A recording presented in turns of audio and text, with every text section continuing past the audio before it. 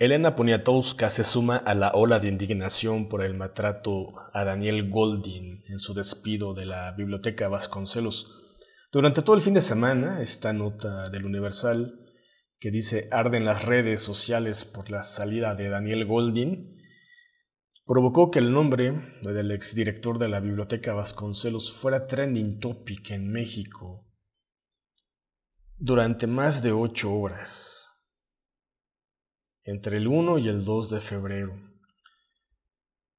Fue trending topic derivado de la ola de indignación que se relata en esta nota del Universal, sobre todo porque retoma las declaraciones del actual director de bibliotecas de todo el país, Mark Sarriaga, en donde en un comunicado eh, dice que Goldin presentó su renuncia en la que explica desacuerdos con el manejo del personal, contrastando con la versión de muchos trabajadores que dicen ser testigos de cómo fue despedido Daniel Goldin. En este mismo tweet de Mark Sarriaga, pues mucha gente le responde. Por ejemplo, Aurea Haide Dice, hubo testigos, los mismos trabajadores desmienten este cobarde comunicado, qué vergüenza. Nicte Arsaluz dice, te lo dije de frente y lo digo acá.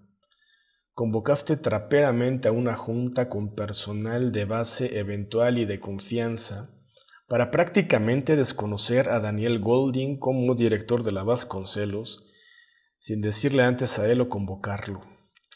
Y es que lo que relatan tanto estos tweets y en la nota y en el trending topic es que a Daniel Goldin llegó alguien y le pidió que entregara la oficina y que bajara uno de los escritorios al sótano, en un trato que muchas personas han catalogado de indignante, que no se merece, entre ellos Julio Patán, Enrique Krause, Martín Solares, Mauricio Montel Figueiras, Alejandro Magallones y muchos intelectuales que en Twitter pudimos ver durante el fin de semana cómo expresaban su descontento.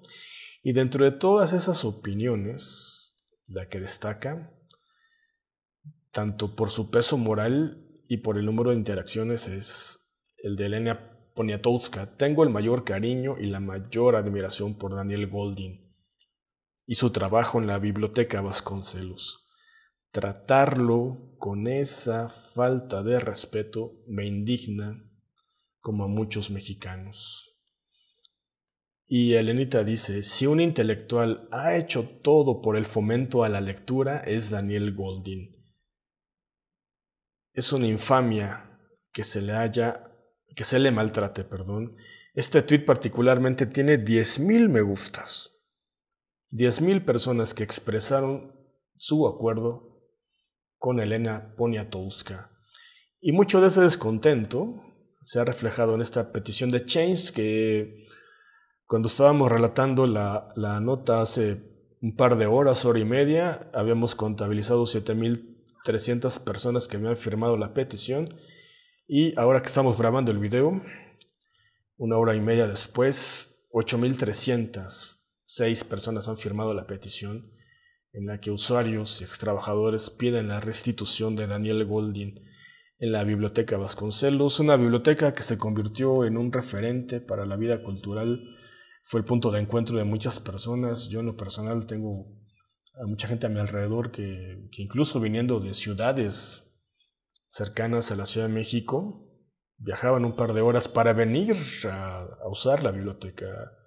Ese nivel de calidad tenía. Y ojalá que las autoridades culturales del actual gobierno pues escuchen estos clamos, estos clamos de, de, ayuda, de atención, porque no se le puede dar un trato así a alguien que ha hecho tanto, tanto por la lectura como Daniel Goldin. Esperamos tu opinión y gracias por ver este video.